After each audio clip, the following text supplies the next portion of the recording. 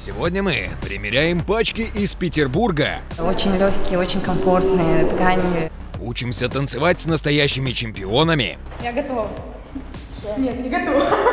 Знакомимся с новым спектаклем о войне в Пятом театре. Когда мы первый раз прочитали, я убежала в гримерку плакать. Оказываемся по ту сторону решетки.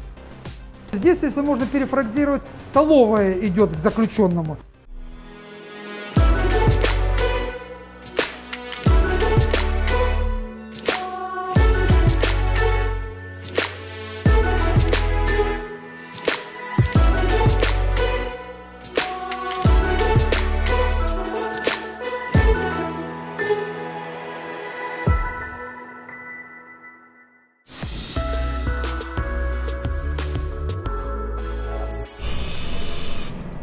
Вокруг этих посылок ажиотаж. В деревянных ящиках «Привет из Мариинки» – балетные пачки, пошитые на заказ для Омского музыкального театра, где Надежда Калинина вновь решила поставить «Лебединое озеро».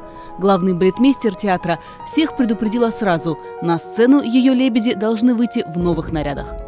Любой провинциальный театр мечтает о том, чтобы костюмы были пошиты в мастерских Мариинского театра или большой, мастерских Большого театра. Здесь главное всегда еще помимо технологий сами ткани. Это очень важно. Да, конечно, в Омске не такой выбор тканей. Вот. И то, что на складах э, мастерских Мариинского театра сохранился английский тюля, да, мы безумно этому были счастливы. Белые и черные 42 штуки с эластичным верхом и каркасным низом. Сама пачка сделана по новым технологиям. Невесомые металлические обручи спрятаны в трех слоях жесткой сетки.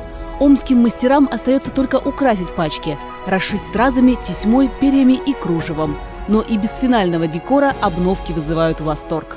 Очень легкие, очень комфортные ткани, естественно, время идет вперед, и ткань меняется. Лиф очень комфортный. Для меня это всегда как бы главный момент, чтобы хорошо, комфортно поднимать ноги, э, прогиб в спине, да, осуществлять, чтобы ткань была максимально комфортной. И в этот раз все случилось идеально. Черную пачку примерила Нина Маляренко, белую – Екатерина Жигалова. Балерины выбрали разные цвета, чтобы напомнить образы Адилии и Адетты, бессмертных героинь Чайковского. Впервые «Лебединое озеро» поставили в Омском музыкальном театре в 1987 году. Премьера обновленного балета 30 июня.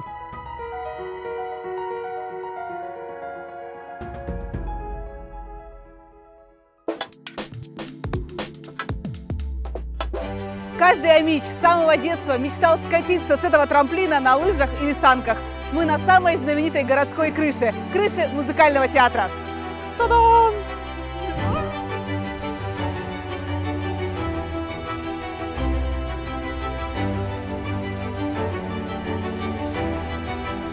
По замыслу архитекторов здание должно было напоминать сразу и рояль, и арфу, и плывучий корабль. Но народ увидел то, что увидел, и сразу окрестил театр трамплином. Постройка интересная, но крайне неудачная для Сибири, поскольку место продувается со всех сторон.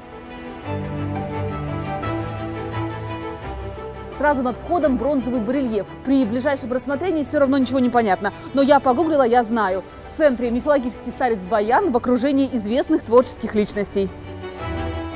Торжественное открытие состоялось 29 января 1982 года премьерой оперы «В бурю». В 80-е в театре формировался оперно-балетный репертуар и были поставлены такие известные произведения мировой классики оперы «Травиата», «Верди», «Сивильский цирюльник», «Россини», Евгения Онегин, Чайковского. Снимки тех лет, старые афиши и даже программки, где чернилами выведены слова благодарности артистам, хранятся в Музее театрального искусства.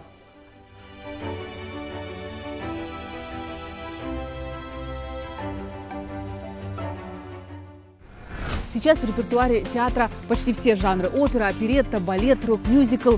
Наряды для всех спектаклей хранятся в костюмерной. Великое множество разных нарядов любой эпохи.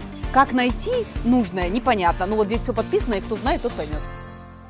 Одежду шьют, а предметы, нужные для постановки, ищут по друзьям, знакомым на блошиных рынках или барахолках. Когда не находят, делают сами в бутафорском цехе. Сейчас сотрудники трудятся над цветами для веселой вдовы. Перед этим зеркалом красятся и мужчины, и женщины. Нет, неправильно, не красятся, накладывают грим. А также примеряют различные локоны, усы, парики. Самый сложный грим длился больше часа, так актер перевоплощается в Квазимода. Вот, кстати, лысина, в которой Валентин Царьков почти два часа на сцене танцует.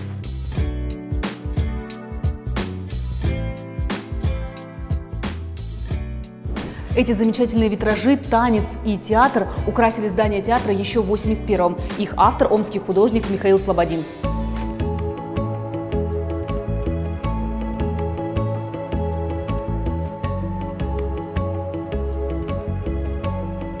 Здании театра со времен Союза не проводился ни капитальный ремонт, ни реконструкция, зато интерьеры сохранились в своем первозданном, аутентичном виде. Это темное помещение напоминает подвал. На самом деле так и есть. Мы под сценой.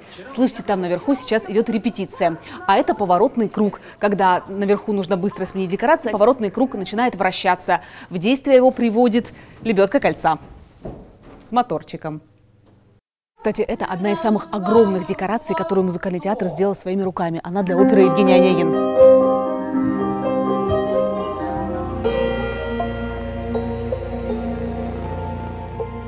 Это, собственно, сцена. Сейчас идет репетиция дачного романа с народной артисткой Валентиной Шершневой. А еще на этой сцене стояли Анастасия Волочкова и пел Филипп Киркоров. Кстати, на том концерте я была. Сидела вон там, на последнем ряду. Зал музыкального театра рассчитан на более тысячи мест. Это одна из самых больших площадок в городе.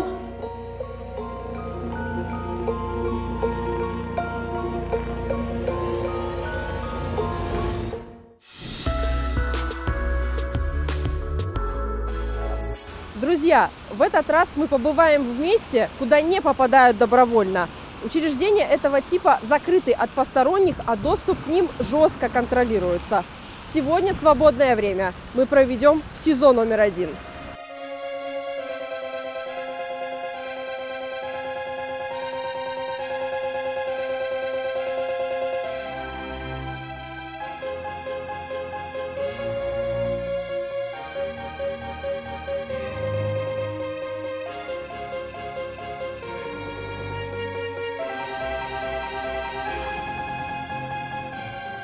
Увидеть, какая она, атмосфера будней по ту сторону решетки, можно и не совершая преступления. Сегодня мы приехали в следственный изолятор на экскурсию, чтобы не только рассмотреть уголки этого закрытого от посторонних глаз мира, но и за необычным экзистенциальным опытом. Здесь напоминают, СИЗО – это не то же самое, что колония. Условия содержания в изоляторе другие, а те, кто здесь находится, считаются невиновными до вступления в силу приговора. Скрипучие тяжелые двери, длинные застеленные коврами коридоры, люди в камуфляже. Отправляемся в стандартную мужскую камеру стоит э, цепочка. Да? Это один из элементов э, безопасности э, для того, чтобы сказать, при открытии дверей сказать, и мог проходить только один человек. Ну, такие нормы, такие требования. Здесь могут находиться до 9 человек. Площадь камеры 40 квадратов, по 4 на человека. Мощные оконные решетки, режущие на квадратики потоки света, холодный блеск кружек, двухъярусные кровати. Не романтика аскетизма, а проза жизни. День начинается в 6 утра с заправки спального места и зарядки. Отбой в 10. Под кроватью мешки с личными вещами. Рядом шкафчики для продуктов. Из развлечений телевизор, но он есть не во всех камерах. Настольные игры и литература. Книги есть библиотека. У нас более 7 тысяч экземпляров литературы различной. Раз в неделю ходит библиотекарь, специально назначенный сотрудник, который раздает книги и все заключенные меняют. Ну, прочитали, прочитали. Нескончаемая монотонность быта. Побывав здесь даже пять минут, понимаешь, как жизнь рискует превратиться в неумолимый круговорот обезличенности и одинаковости. Как бы мы ни представляли будни заключенного по фильмам и книгам, они почти всегда не совпадают с реальностью. СИЗО – калейдоскоп судеб, и каждый, оказавшийся здесь, может встретиться с людьми, с которыми бы никогда не пересекся в обычной жизни, и столкнуться с переживаниями, очень нетипичными для человека на свободе. Это здание имеет долгую историю. В 1859 году на этом месте появился тюремный замок на 150 человек. Его строили 4 года по указу Александра II. Здесь до сих пор сохранились винтовая лестница со старинной кирпичной кладкой и сводчатые потолки. В период с 1970-х по 1990-е здание реконструировали. Сегодня здесь могут находиться чуть больше полутора тысяч человек. Терракотовый пол, серые скамейки. Вот они детали казенного интерьера. На столе нарды. Среди книг неловко притаился Паула Каэлья. Яркие резиновые тапки. Мы в женской камере. Помимо телевизора здесь есть холодильник и отдельный душ. По ощущениям тут уютнее и светлее, чем в мужской. О том, что это СИЗО, снова напоминают решетки на окнах. Следующая остановка – пищеблок. Еду готовят вот в таких больших котлах. Всего здесь два горячих цеха. Пища готовится на весь следственный изолятор. Если э, кто был в колонии заключенный, осужденный идет в столовую, да, то здесь, если можно перефразировать, столовая идет к заключенному. Баки. Первое, второе. Разливается пища, которая приготовлена в баке и разносится по режимным корпусам. Пробу будете кушать? У нас обед уже готов. На обед борщ, гороховая каша и кисель. По вкусу обычная еда из столовой. Но после такой прогулки строгого режима, понимаешь, тюрьма – это замкнутый микромир. А наше историческое прошлое живет не только в музеях, памятниках архитектуры, но и в стенах пенитенциарных учреждений. Тюрьмы превратились в отдельный социальный институт и стали портретами времени, страны и общества. Интерес к ним никогда не ослабевал и стал настолько явным, что в некоторых странах получил распространение тюремный туризм. Таким образом, люди пытаются осмыслить прошлое и настоящее человечество. Так, к примеру, одна из самых известных тюрем в мире, Алькатрас в США, открыта для экскурсий. Считается, что отсюда так никто и не смог сбежать и при этом остаться в живых. Здесь туристам рассказывают об истории учреждения, попытках побега и бунтах. Сибирский город Тобольск стал одним из первых мест, где туристам предложили экскурсии в тюремный замок. Само место заключения известно с конца 19 века, а сейчас здесь находится музей-заповедник. А в Таиланде путешественникам планируют показывать кулинарные конкурсы с участием поваров заключенных. Зачем ходить в такие места без необходимости, а лишь из любопытства? И нужно ли это делать? Вопрос этики и психологии. Пока ясно лишь, что таким образом люди пытаются удовлетворить свою потребность в необычных впечатлениях и прикоснуться с безопасного расстояния к закрытому миру, где гораздо спокойнее ощущать себя гостем, а не вынужденным постояльцем.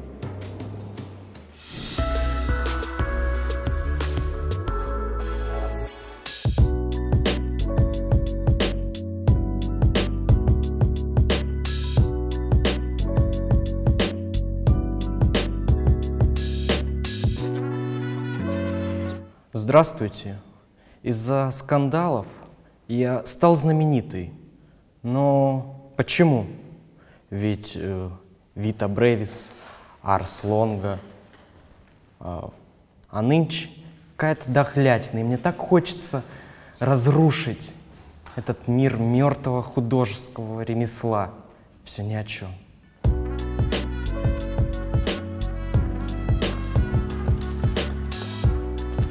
Вот представьте себе, они говорят, что меня изжарят. А все почему? Потому что я не выношу эту дохлятину. Никаких традиционных поэтических качеств. Хм. Именно. Как же традиции? Это не живопись, а фонарь.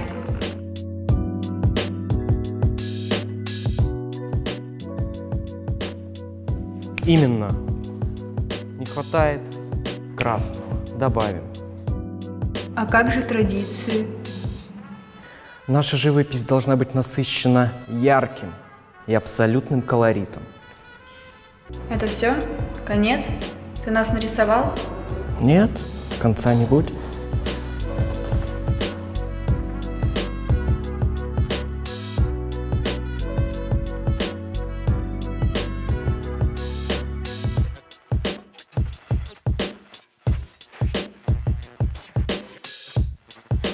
Екатерина, здравствуйте. Здравствуйте. Катя, мы в замешательстве. Расскажите, пожалуйста, что это было, что мы только что сейчас увидели? Это был перформанс, который э, специально для зрителей музея а, подготовили наши волонтеры. То есть от, а, от начала разработки до момента выпуска все делалось их руками, а, с их идеями. Это представление театрализированное, которое помогает заинтересоваться посетителю, что же изображено на картине. Герой, который играл Машкова, он вообще учится в медакадемии на лечфаке. То есть я правильно понимаю, что волонтерами могут стать люди абсолютно разных профессий, разного возраста?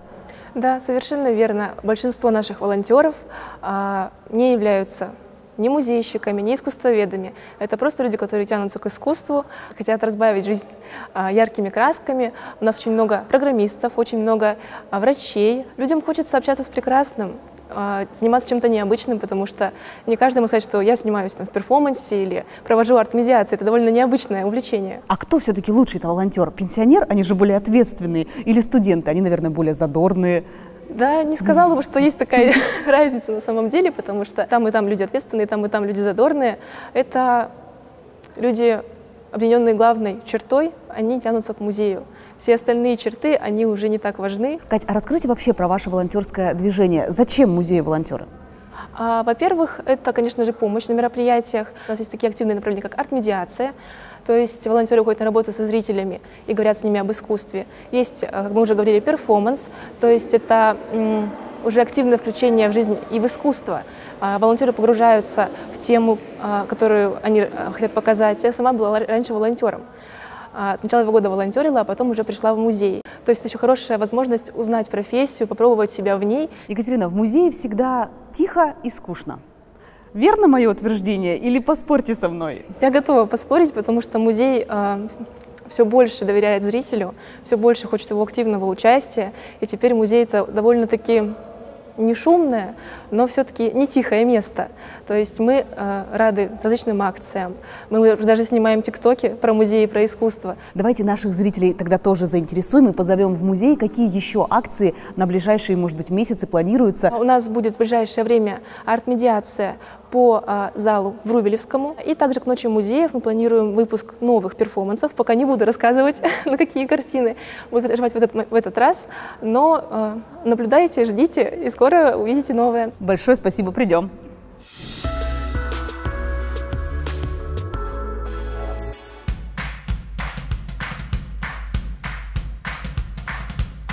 А искусство, оно не живет отдельными какими-то своими областями и так далее. И очень здорово, что это красиво здесь соединилось. Поэтому спасибо большое, что вы рискнули.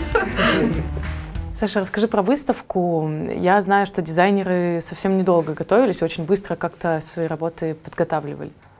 А, да, это так. На самом деле, если мы говорим именно про Green Friday Challenge, то есть это конкурс, в котором участвовали дизайнеры, у них были проекты, у них были защиты, и по моменту защиты мы выбрали именно того, кто стал, грубо говоря, победителем всего конкурса. Получается, у дизайнера было только 10 дней на подготовку и создание, собственно, самих костюмов. И получается, за эти 10 дней они должны были продумать идею, найти материалы, все это скомбинировать и создать уже готовый продукт.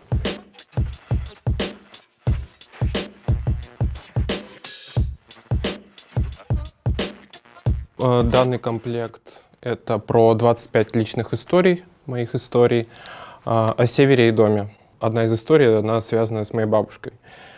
И, в принципе, от э, домашнего уюта, который она создавала, создает, я и начал отталкиваться.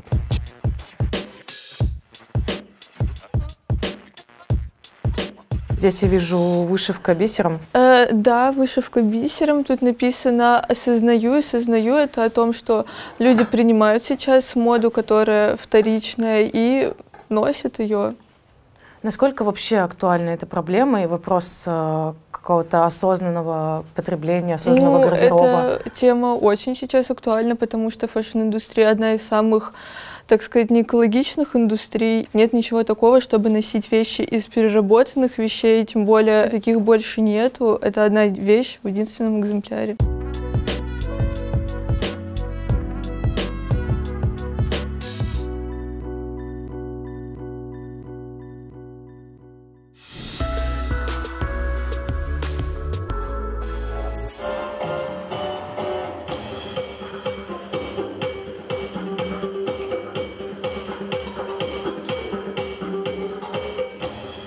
Когда я слышу музыку, то сразу же начинаю танцевать, и мне довольно сложно остановиться. Поэтому свое свободное время сегодня я проведу с чемпионами России по танцевальному спорту.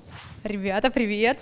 У вас тут тренировка, я вам немножечко помешаю. Привет. Когда вы получили золото, что вы чувствовали, какие у вас были эмоции, когда такую награду завоевали? Была радость у нас, счастье. Эти танцоры не просто завоевали золото на чемпионате и первенстве России по танцевальному спорту. Они стали первыми сибиряками в своей возрастной категории. Кому покорилась эта вершина. Чем они отличались от других ребят? Почему именно они стали чемпионами? А, в первую очередь, они самые трудоспособные, на мой взгляд. Ну, я таких трудоспособных детей встречаю крайне редко. Они очень трудолюбивые, очень упорные дети. Ну и талантливые, безусловно, конечно. В них есть какая-то своя изюминка. Путь к чемпионскому титулу лежит через множество тренировок. Ребята проводят в зале минимум по 5 часов 6 дней в неделю. Можете мне показать несколько движений, чтобы я на каких-нибудь дискотеках могла всех удивить? Я готова. Нет, не готова. Давай, что тут? Что? Ты хоть мне покажи, как встать-то надо, я же не понимаю ничего. Это вы тут профессионалы. Так. Угу. Угу. Я не очень человек. Сразу говорю, я обычно вот так как-то двигаюсь. Мне кажется, это слишком сложно для меня. Я ничего не понимаю. Какая у вас большая вот танцевальная мечта? К чему вы стремитесь? Мы хотим выиграть чемпионат мира. Когда планируете получить этот титул? Ну, уже скоро. А скоро это когда? Может, через два года. Через год.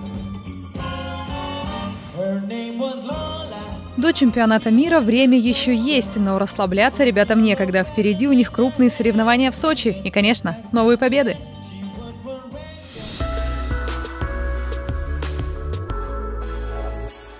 Вот он, вот он, если выбросить, потом снова Смеяться только на следующую фразу про шамана. Где ты был? У войны лицо не женское, но все же сотням тысяч женщин пришлось столкнуться с ней лицом к лицу. Об этом новый спектакль Пятого театра. Так они же вон сами на фронт рвутся. Ну плохо, ну плохо, Ложкин. Стыдно нам с вами, мужикам, что войну к ним подпустили. Тема войны Э, тема женщин на войне, она всегда очень трогает. И когда мы первый раз прочитали, я убежала в гримерку плакать.